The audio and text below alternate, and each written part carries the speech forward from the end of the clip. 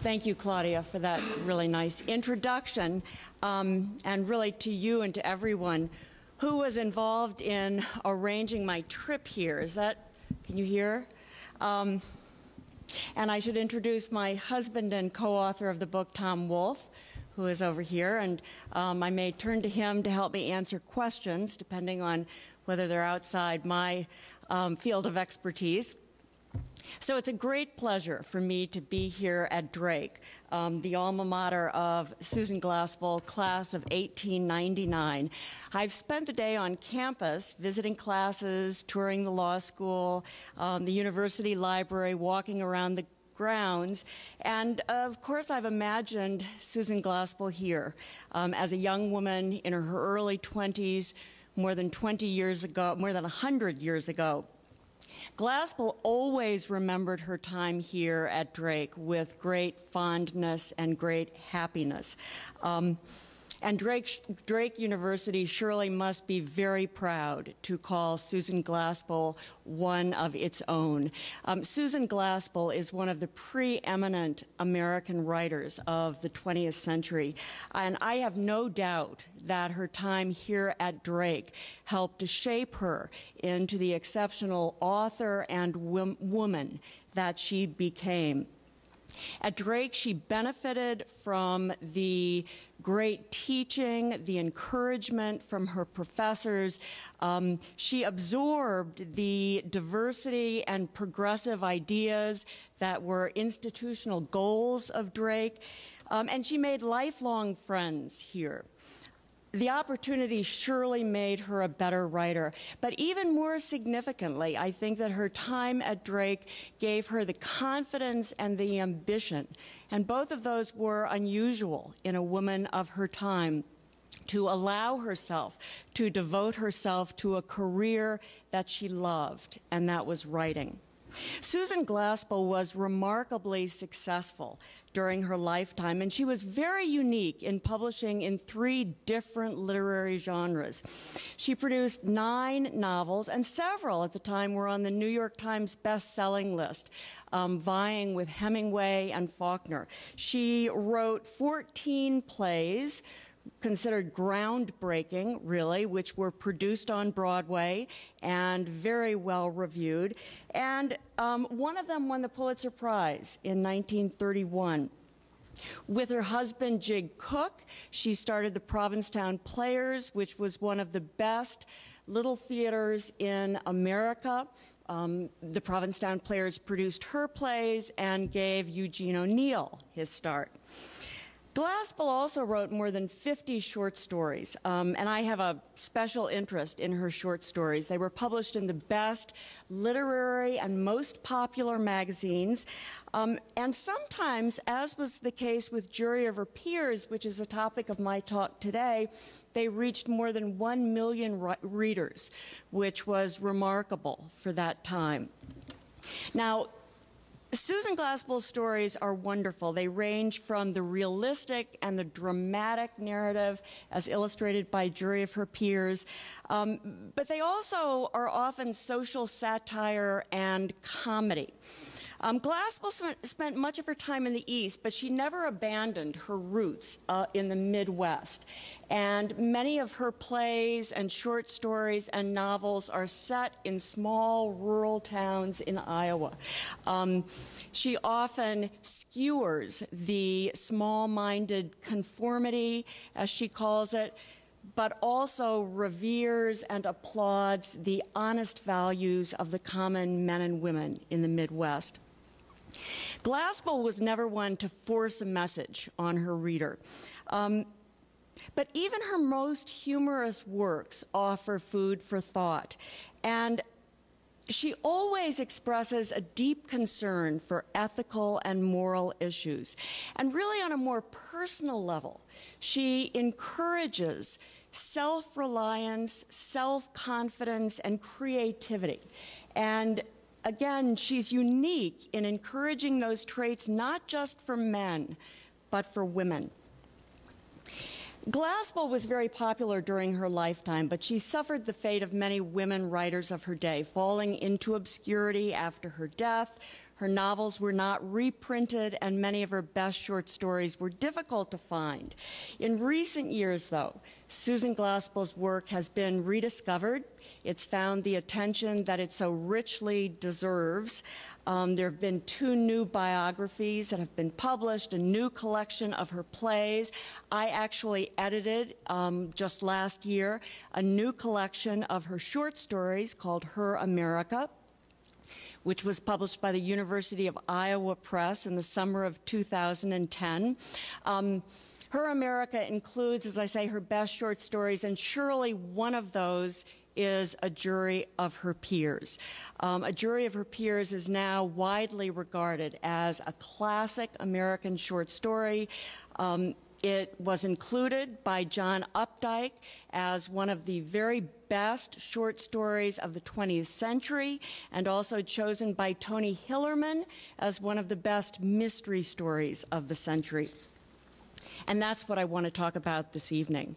Um, I was introduced to Susan Glaspell through a jury of her peers. I first read it in 1990 when I was preparing to teach a law and literature seminar, and it was listed as one of the most 10 most assigned works. Um, I was interested because the others were all well-known classics by male writers, you know, Aeschylus, Shakespeare, Melville, Camus, um, Kafka. Susan Glaspell's was the only one by a woman writer. Now, I discovered that Glaspell wrote this work first as a play, a one act play called Trifles for the Provincetown Players in 1916. This was her first venture into playwriting, and it was a huge success. A year later, she reworked the material into this famous short story, A Jury of Her Peers. Now, I've assigned Glaspell's story to my students every year since I first read it, and they and I love the story. I strongly recommend it to you. It's very widely accessible in my collection, but also online. Um, very provocative questions for, discuss, for discussion. Um, domestic abuse, justifiable homicide, um, legal versus moral responsibility, and different perceptions of men and by men and women of crime and morality. Now, I don't want to say too much about the story, but I have to say a little just before I get into the story of Margaret Hossack. Um, Jury of Peers is set, and this is Susan Glaspell's story, is set in the Midwest in the 1900s. And the narrative begins after a woman has been a farm woman, has been accused of murdering her husband. He's been killed, strangled, actually, in his bed while he slept. His wife has been accused of the crime, and the male authorities have gone to the farmhouse to search for clues. Their wives are also along to put, a, to put aside a few clothes for the accused woman in jail, um, but they, much to their own surprise, discover evidence that the woman has been accused, has been abused. The accused woman has been abused by her husband, that she led a lonely and difficult life in this isolated farmhouse, and that she killed her husband in retribution for what he did to her. Now, as the women piece together the story, it's not that they necessarily decide that she was justified in what she did. But they do feel guilty for not coming to her aid. They knew she was in trouble and they did nothing.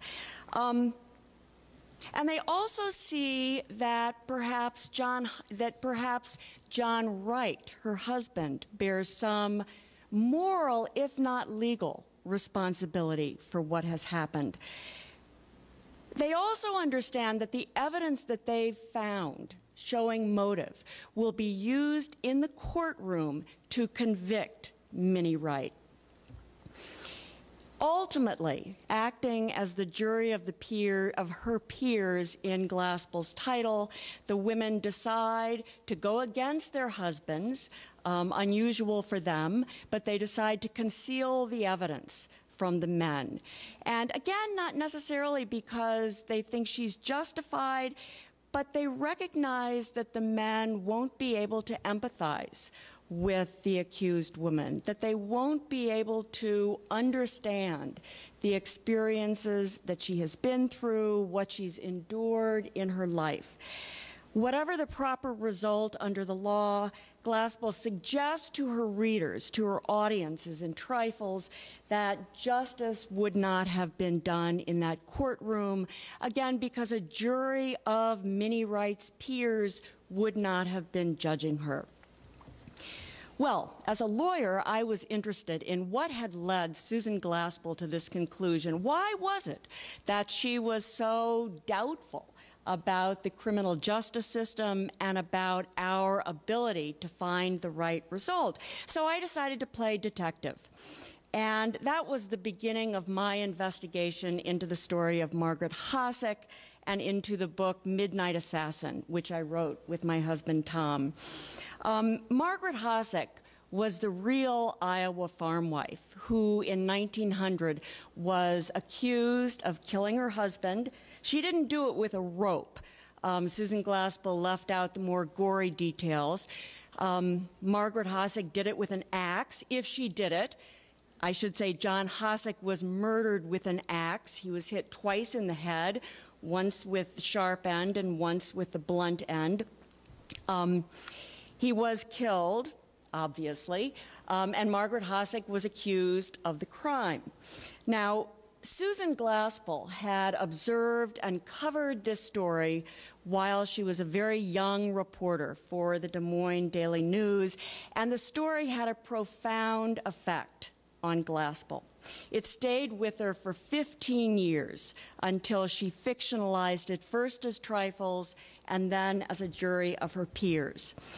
What I didn't know when I started researching the story was that Margaret Hossack, the story of Margaret Hossack, which is filled with violence, with family conflicts, and mystery, would have such a powerful effect on me as well, and that I would continue to investigate and write about this case for more than a decade. So let me back up and tell you a little bit about Susan Glaspell. Um, Susan Glaspell was, and here she is as an older woman, um, when she after she had written so many of her famous works. Um, but Susan Glaspell was born in Davenport. Um, she was the great granddaughter of one of the Iowa pioneers, an early settler there, who had established a fruit farm. But the farm was not successful. The Glaspell fortunes declined, and by the time of Susan's birth, the family had been forced to move into town, which was where Susan grew up in a house high on the bluffs overlooking the Mississippi River. Now, Susan had two brothers but she was clearly the most gifted and ambitious of the three. Neither of the boys finished high school. They both got jobs at the Rock Island Arsenal, while Susan excelled, choosing the most rigorous courses in Latin and literature and graduating at the very top of her class of 53 students.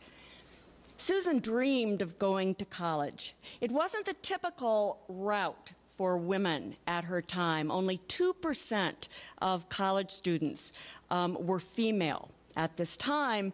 Um, and I will say, Susan's father did not approve of Susan taking this step. And as he said, he was either unable or probably more likely unwilling to pay.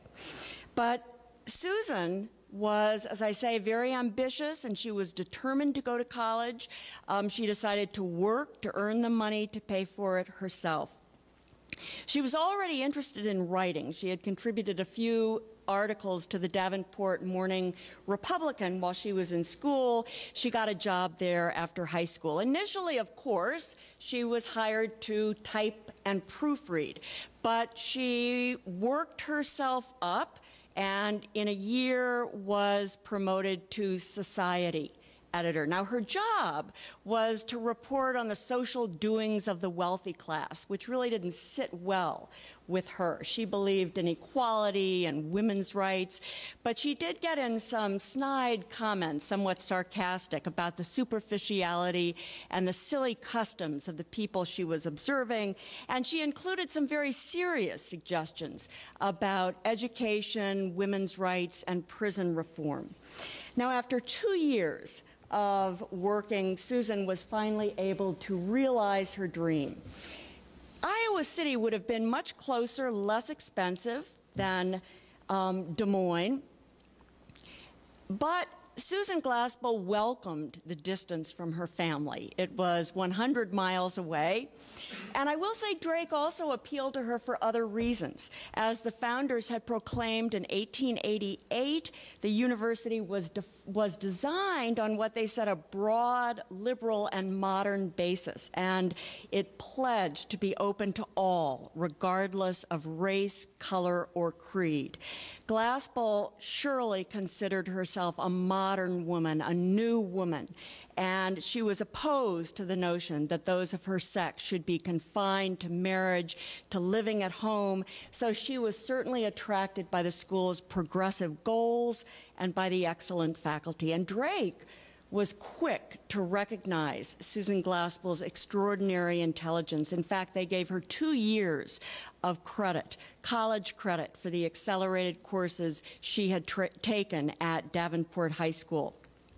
So in the fall of, 18, of 1897, at the age of 21, Susan Glaspell enrolled at Drake as a junior. Um, there weren't any residence halls for the students yet. She ensconced herself in a rooming house on 28th Street. She was outspoken, vivacious. She quickly made friends with the other students. She joined the Margaret Fuller Society.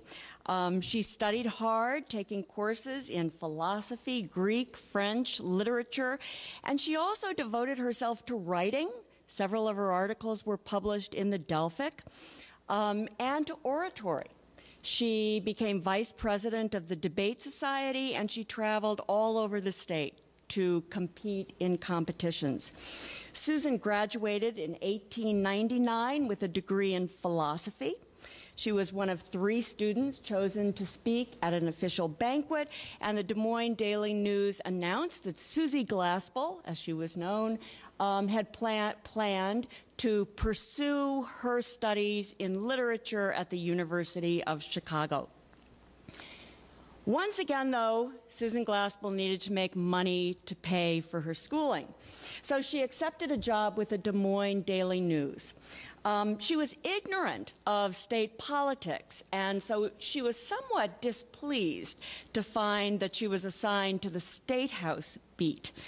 But she did it, and at the same time, she persuaded her editors to allow her to write um, a more freewheeling comment on a column on current events. She called it News Girl. She impressed the editors with her work ethic, her intelligence, her excellent writing skills, and it wasn't long before they gave her a higher profile job.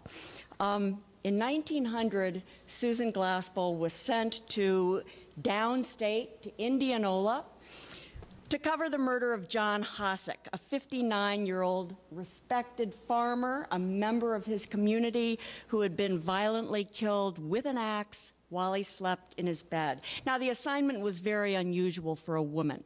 In fact, Susie Glaspell um, was the only woman assigned out of the many reporters who swarmed into Indianola to cover this trial. Um, but her editors trusted Glaspell. Um, they wanted, they knew this was going to be a high profile case covered by media. They wanted someone who could write sensationalistic prose, who could hook her readers, keep it on the front page, and Susan Glaspell did not disappoint. She wrote more than 24 articles on the Hossack case covering the murder, the investigation, and the trial, and it was a story that stayed with her for years. In her memoir that she wrote many years later, when she talked about writing trifles, she wrote, when I was a newspaper reporter out in Iowa, I was sent downstate to do a murder trial, and I never forgot going into the kitchen of a woman locked up in town. Now, that sentence, by the way, was my first clue that Susan Glaspell was actually inspired by fact to write these two classic works of fiction. So, I was able to identify the Hossack case um, by looking at newspaper reports on microfilm. Um, the Hossack case seemed the one. It was the right time frame. It was a wife accused of killing her husband in bed um, again with an axe, not with a rope. But I eventually found, and this gave me great confidence that I had found the right one, a list of the reporters who covered the Hossack case, and Susie Glaspell, Susie Keating Glaspell, was listed as one of them. So I felt that I had found gold. Um, I read hundreds of articles on microfilms. I went to courthouses, um, eventually, with the help of Tom. Um, I found the original transcripts of the, of the, coroner's inquest, the grand jury hearings. Um, I wrote a law review article on the topic, on the subject of Glaspell and of Margaret Hossack. But as Tom said in a law review article, all of the good stuff is hidden down in the footnotes. Um, so he convinced me that he would work with me on a book which we wanted to read like a novel, although we were also determined to keep it as true to the facts as we could. And I will say everything that's in quotes in the book comes from transcripts. It is literary nonfiction. Um, it is, again, as true to the facts as we can make it. Now, Eventually, we expanded our search. Um, we talked to descendants of the Hossack family, all of whom I should say were very cooperative with our search. We went to Indianola, visited the farmhouse. We saw the graves of Margaret and John Hossack. Um, we talked to a lot of community members in Indianola to find out what they had learned through the generations. We even went to Anamosa State Penitentiary, where Margaret Hossack had been imprisoned for a year, to try to find out what had happened in this story. Now, to tell you a little bit about it, the murder of John Hossack, as I said, occurred, well, was very violent, occurred the night of December 1st, 1900.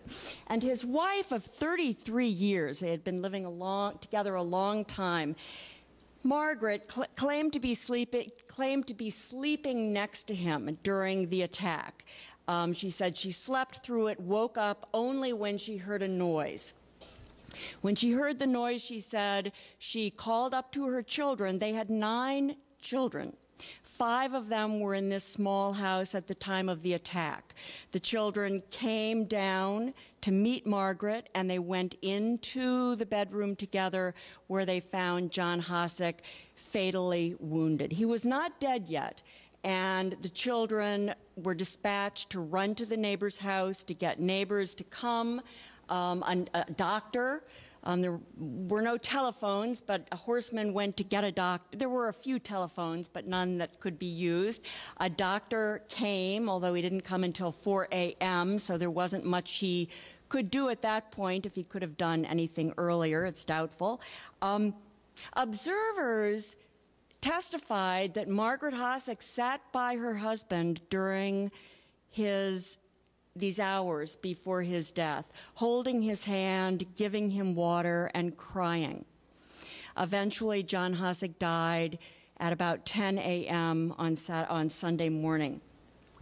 Now, the, the investigators, the male investigators, arrived the next day, um, and very quickly, George Clammer, who was a young county attorney, very ambitious. This was his first murder case. He was determined to get a conviction in this murder case, and he focused on Margaret Hossack right away as the primary suspect. He did not believe her story that she could have slept through this attack.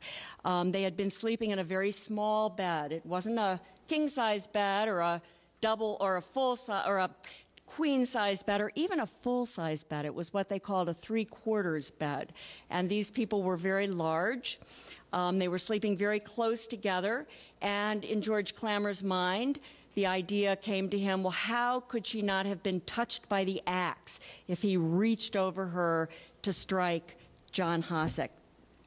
There was no evidence of an intruder, nothing had been stolen. Um, and the next morning, the investigators found the family axe, which was covered with blood and hairs, never clearly established if they were human or animal, hairs or blood, but that was said to be the, the murder weapon, um, which seemed to Clammer at least to point even more definitively to Margaret Hossack. Now, what really convinced Clammer, however, was the testimony of the neighbors at the coroner's inquest the next day. The neighbors were very reluctant to talk at first, but they eventually admitted that they had known for years that there had been trouble between the Hossack couple. Um, even as these people were saying John Hossack was one of the most well respected men in the community, he was God fearing, he paid his debts on time, he didn't drink. They were also telling a different story, one that they had known for years but had covered up because they thought it was a secret because of the good standing of the family. It seems that John Hossack was an angry and a moody man who suffered from possibly mental illness. Certainly, the neighbors called them tantrums. Um, neighbors knew that Margaret Hossack had come to them, often in tears for more than 15 years, asking for pleading really for help, saying that she feared that she or her children would be hurt by her husband. He threatened them with guns, with knives. She was also terrified that her husband would find out about these conversations. She implored her neighbors not to disclose them to her husband. Um, and often in tears, she told her neighbors that it would be a blessing if John Hossack died. Now, the neighbors told her there was nothing they could do. Family matters, they said, were family matters. They were private. In fact, they advised Margaret Hossack over and over not to interfere with their lives, with her troubles. She should keep her family matters to herself. One year before the murder, there was an especially threatening confrontation between Margaret and John. Margaret ran to a neighbor's house in the rain. Um, she told the neighbor, one of the men who had been involved um, in the past, that she had to separate from John Hossack, that she wanted a division of the property.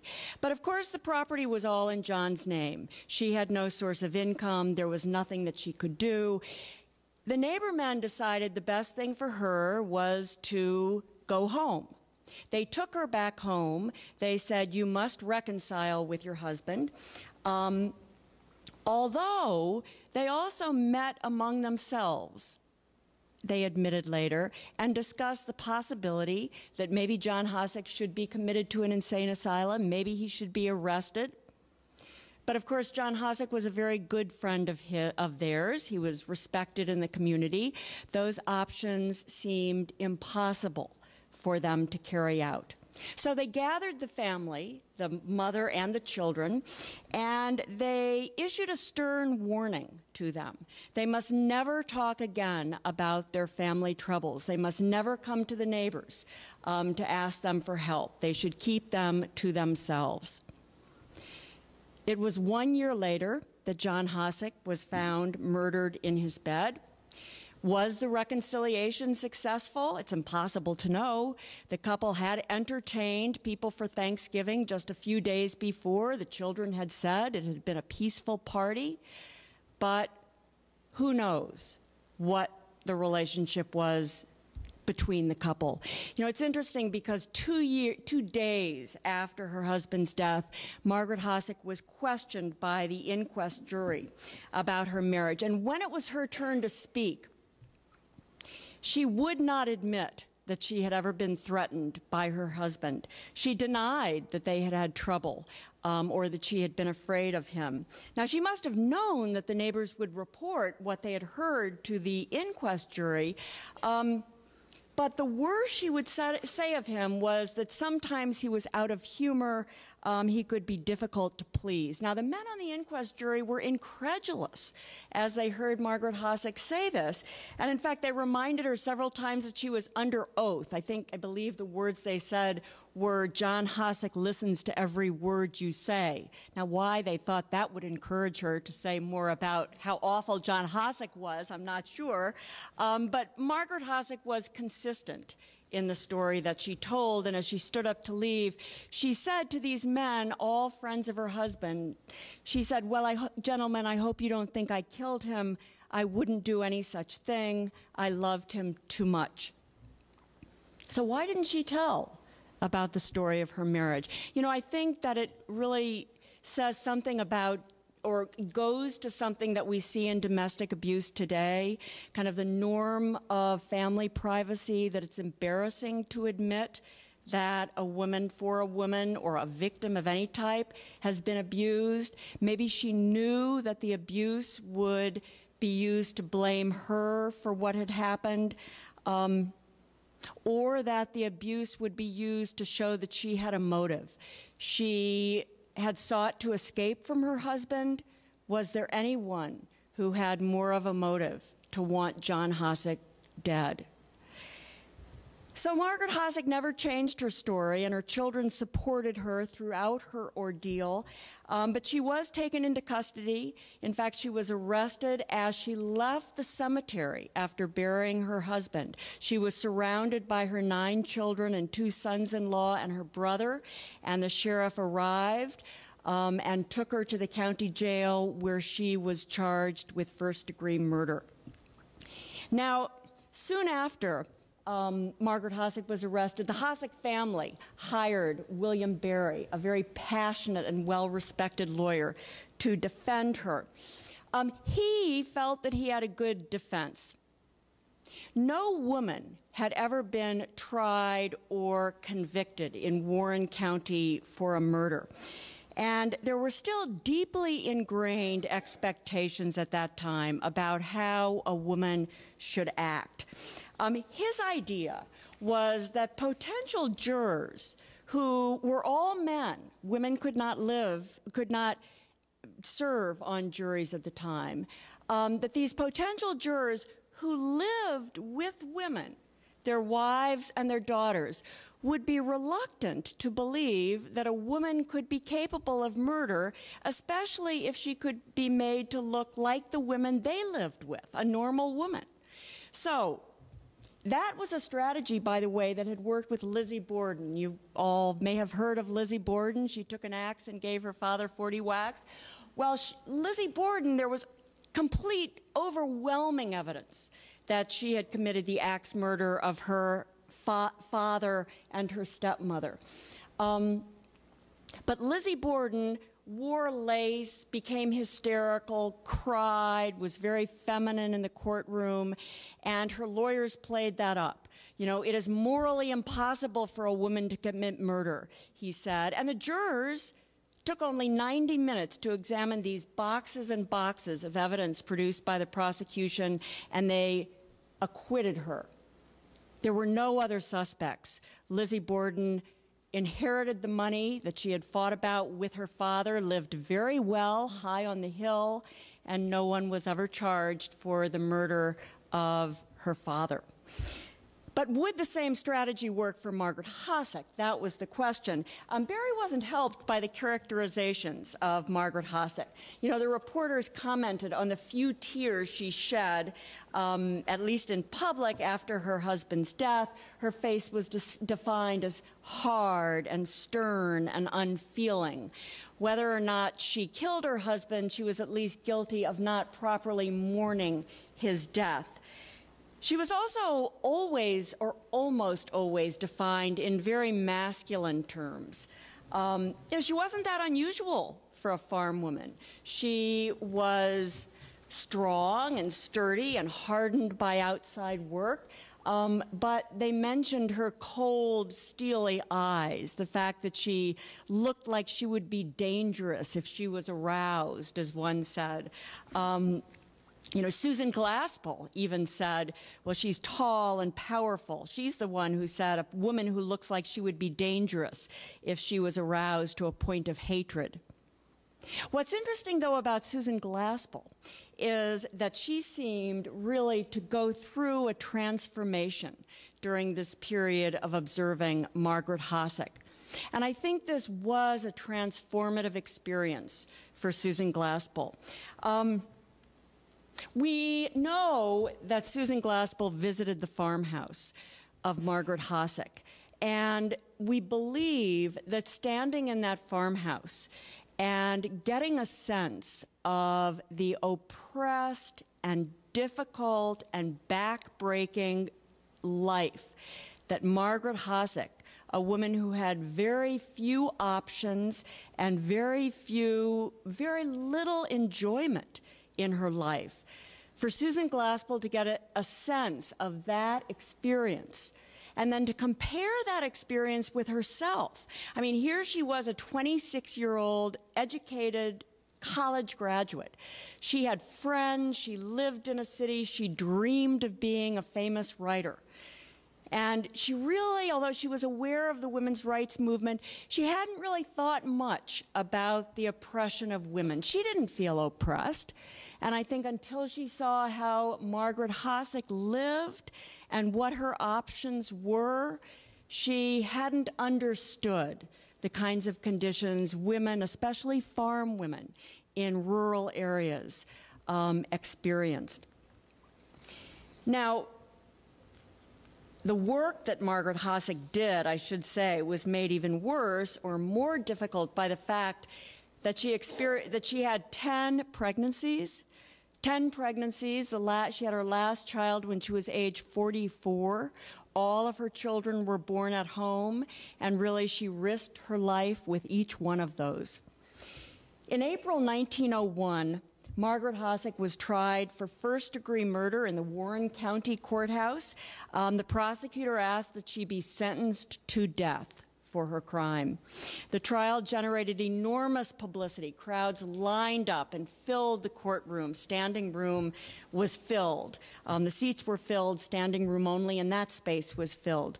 Um, the prosecution presented evidence to support its charges, the family axe, the difficulty in believing her story, but most significantly, the evidence of motive that was proved through the stories that her husband had abused her.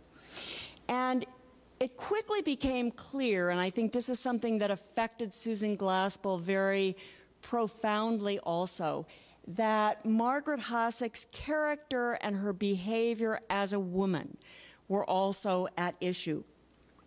You know, the prosecution argued what kind of a woman could commit the unthinkable crime of killing her husband. Um, so they argued that a woman, she said she slept through the attack and yet she had had children. What kind of a woman could have, a, a mother, could have slept through that kind of noise and not woken up? You know, it's like she's guilty if she didn't wake up because she's a bad mother. She's guilty if she did wake up because she's lying to us. Guilty, guilty, either way. Um, they made the point that she testified that when she heard the noise, she ran upstairs to get her children. As the prosecutor said, what kind of a woman wouldn't go to her husband first for help? What kind of a woman would leave the bedroom and go up to find her children? Um, the defense lawyers were in kind of a bind. You know, they couldn't claim that the, the abuse was a mitigating factor because Margaret Hossack said she was innocent. So they talked about the trials and the burdens borne by Margaret Hossack during her trial. Um, and they stressed that during the last year, she had apparently reconciled with her husband. She had pledged to the neighbors that she would stay with him and that she would be an obedient and subservient wife. Susan Glaspell was in the courtroom for much of the trial. And of course, she was watching a process that was controlled by men. All of the lawyers were men. Um, the judge was a man. All of the jury members were men.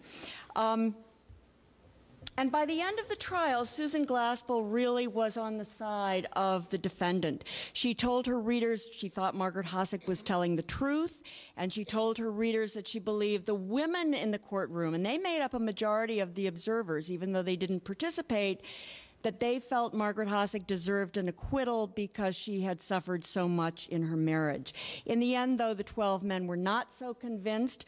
Um, Margaret Hossack was found guilty of murder in the first degree, um, although the jury at least recommended against execution.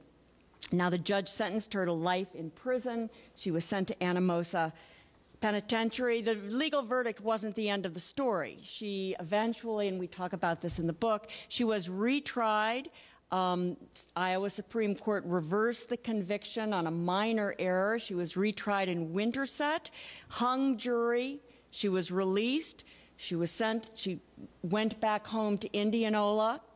And in a somewhat ironic twist, she was buried right next to her husband in the New Virginia Cemetery. Now, the Hossack story ended for Susan Glaspell when the jury in the first trial declared Ma Margaret Hossack guilty. Um, she quit her job with the newspaper and she moved home saying she wanted to devote herself to fiction in Davenport. And she was very successful, published three novels. Um, she stayed in Davenport for 10 years until she fell in love with Jig Cook, who was a dedicated socialist and free um, well, what should I say, free thinker who was engaged to be married to another woman. Susan moved to New York, associated with a bohemian group. Um, Jig Cook eventually married her there, joined her there. They were married. Unusually for the time, Susan Glaspell did not change her surname to that of her husband's. Fifteen years later, Susan Glaspell wrote about the Margaret Hossack trial in a jury of her peers, trifles first, and then a jury of her peers. Um, it didn't surface until she had started the Provincetown Players with Jig Cook, and they were operating out of the Wharf Theater in Provincetown. Susan talks about going to the theater to try to think what kind of play to write um, sitting, hearing the waves under her feet, and suddenly having this vision of being in that kitchen. Um, where the woman who was accused had spent so much of her time but was not there now, and the scene just came back to her. Um, she wrote it very quickly. She adapted it then to a jury of her peers. Here's the first production of Trifles, which was a great success. Um, then she adapted it for Jury of Her Peers, which was also acclaimed um, as a terrific, a great American story. Um, neither is a literal retelling of the Hossack case. I mean, details are clearly different. And Susan Glaspell didn't focus in the story or on the play on who done it. You know, if you've read either of them, you get a sense that Minnie Wright did kill her husband, and you know why. Susan Glaspell didn't know whether Margaret Hossack killed her husband or not. And believe me, Tom and I have done enough research so that we don't know either, although we have our guesses. But what Susan Glaspell wanted to focus on was what was missing from the courtroom the moral questions that were ignored, um, the voices of the women. The women were really silenced. They were not the ones who judged Margaret Hossack. And Susan Glaspell focused on the empathic understanding that the women had for Minnie Wright that seemed to be absent from the courtroom. Um, our story of Susan Glaspell ends in 1917, but she lived more than 30 years after that until 1948. She didn't have a happy life. Um, Jig Cook died in 1924. Um, Susan Glaspell was devastated by his death. She was uprooted from her friends. She became more isolated. Um, but she found solace in her writing. In 1931, she won the Pulitzer Prize for Alison's House. She died of pneumonia in 1948 at the age of 72. And just two things in closing. Let me say, Susan Glaspell didn't focus on the question of who done it, but Tom and I could not ignore that question when we were writing our book. Um, But as you know, if you've read the book, or when you do read the book, we don't announce a definitive conclusion. Really, we've told everything that we found, and we looked for years and years, and we've tried to stay as true to the facts as we possibly could. Um, and I do believe that any reader who picks up the book will reach their own conclusion about who killed John Hossack and why. Ultimately, we decided, just as Susan Glaspell did, that the story is not about a whodunit. It's really about how a crime affected a community, how we see justice, um, how stories are told in the courtroom, how the media reports on these events, how family emotions and loyalties play out. Um, impossible often for outsiders ever to comprehend. You know, as I'm here at Drake, I imagine the formative years that Susan Glaspell spent on this campus, developing her intellect and honing her writing skills, that she was able so powerfully to transform fact into fiction, conveying her concerns and her insights so that they would last through the generations. Our book, Midnight Assassin, is certainly the story of a trial and a murder. But I think it's also the story of Susan Glaspell's unique creativity and remarkable skill of how this great American author came to write Trifles and a Jury of Her Peers, two rich and classic works that will live on for generations to come. Thank you.